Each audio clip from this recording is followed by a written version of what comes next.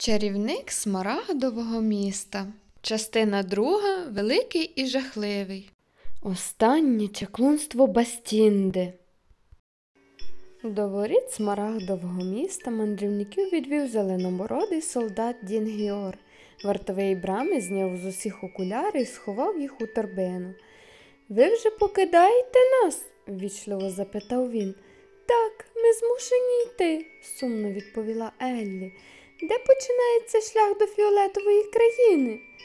Туди немає дороги, відповів Фарамант.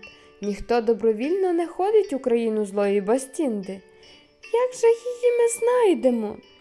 Можете не турбуватися, вигукнув вартовий брами. Тільки но ви прийдете у фіолетову країну, Бастінда сама вас знайде і забере у рабство. А може, нам поталанить позбавити її чарівної сили? сказав Страшило. О, ви хочете перемогти Бастінду? Тим гірше для вас.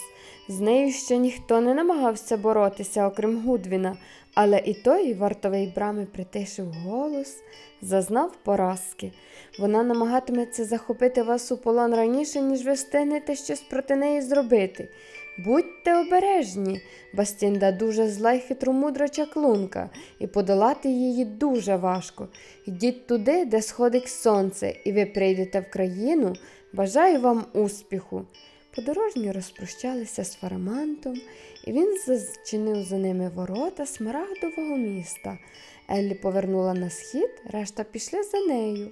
Всі були засмучені, розуміючи, яка перед ними стоїть важке завдання. Лише безтурботний Тотошко весело гасав полями, ганяючись за метеликами, він вірив у силу лева і залізного дроворуба і сподівався на винахідливість страшила. Еллі поглянула на песика і зойкнула від здивування. Стрічечка на шиї Тотошка із зеленої перетворилась на білу. Що б це могло означати? запитала вона у друзів. Усі ззирнулися і страшило глибокодумно заявив Чаклунство. За браком іншого пояснення всі погодилися з ним і рушили далі.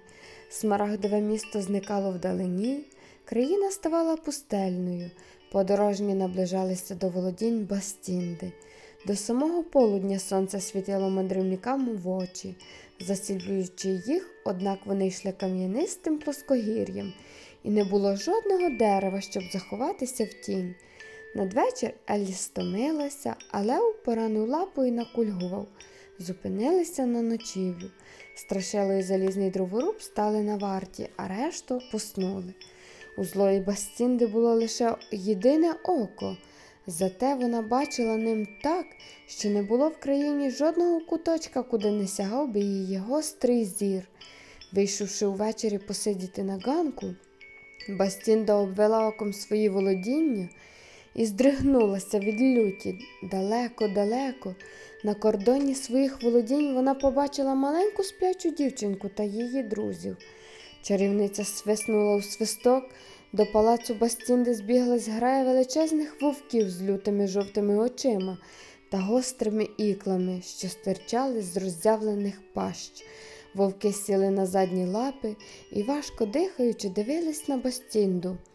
Біжіть на захід, там знайдете маленьку дівчинку, що нахабно вдерлася до моєї країни, а з нею її супутників роздаріть усіх на шматки. Чому ти не візьмеш їх у рабство? запитав вожак з граї. Дівисько слабке, їх супутники не здатні працювати один напханий соломою, другий з заліза, і з ними лев, від якого теж мало користі. Ось якби бачила Бастінда своїм єдиним оком вовким помчали. На шматки, на шматки, верещала чаклунка їм навздогін. Та страшило і залізний дроворуб не спали, вони вчасно помітили вовків. Розбудемо лева, сказав страшило. Не варто, відповів залізний дроворуб. Це моя справа упоратися з вовками. Я приготую їм належну зустріч.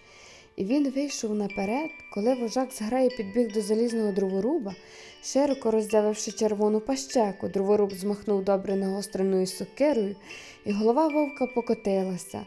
Вовки бігли вервечкою один за одним. Тільки на наступний кинувся на залізного дроворуба, Той уже був на поготові з піднятою сокирою, і голова вовка полетіла додолу. Сорок лютих вовків було у Бастінди, і сорок разів зводив залізний дроворуб свою сокиру. І коли він, піднявши сорок перший раз, жодного вовка не лишилося в живих. Усі вони лишали біля ніг залізного дроворуба. Прекрасна битва. захоплено вигукнув страшило. Дерева рубати важче, скромно відповів дроворуб. Друзі дочекалися ранку.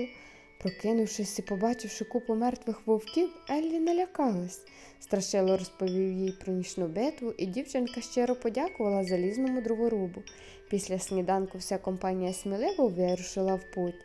Стара Бастінда полюбляла ніжитися у ліжку, тому вона встала пізно і вийшла на ганок, щоб розпитати вовків, як вони розшматували зухвалих мандрівників.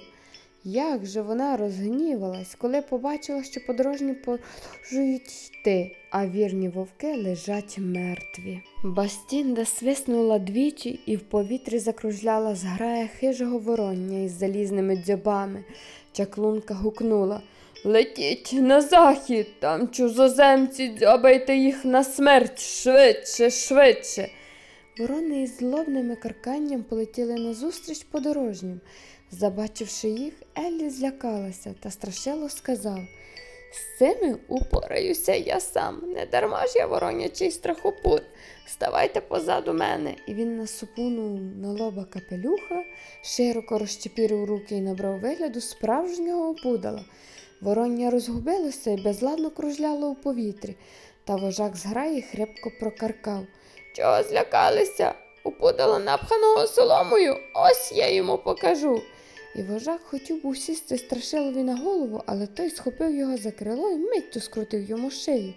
Сорок хижих ворон із залізними дзюбами були у бастінди, і всім скрутив шиї хоробрий страшило поскидав їх на купу. Подорожні подякували страшилові за винахідливість і знову рушили на схід. Коли Бастінда побачила, що її вірні ворони лежать на землі мертвою купою, а мандрівники безстрашно крокують уперед, її охопили злість і переляк. Що? Невже все моє чарівне мистецтво безсиле затримати нахабників чисько та її супутників? Бастінда затупотіла ногами і тричі просвистіла у свисток. На її поклик злетілася хмара злючих чорних бджіл, укуси яких були смертельними. Летіть на захід, прогорчала чарівниця. Знайдіть там чужоземців і зажальте насмерть швидше, швидше. І бджоли з оглушливим дзищанням полетіли назустріч мандрівникам. Залізний дроворуб і страшило помітили їх ще здалеку. Страшило миттю збагнув, що треба робити. Викидай з мене солому, закричав він залізному дроворубові. Швидше і накрий нею лева, Еллі і Тотошка, бджоли до них не доберуться. Він спритно розстебнув свій каптан, і з нього висипалася ціла купа соломи. Лев, Еллі і Тотошко лягли на землю. Дроворуб швидко прикидав їх соломою і виструнчився на весь зріст. Хмара бджіл із лютим жіщанням накинулася на залізного дроворуба. Дроворуб посміхнувся, бджоли ламали отруйні жала об його залізо і враз гинули, бо бджола не може жити без жала. Вони падали, а на їх місце налітали інші й також намагалися встромити жала в залізне дроворубове тіло.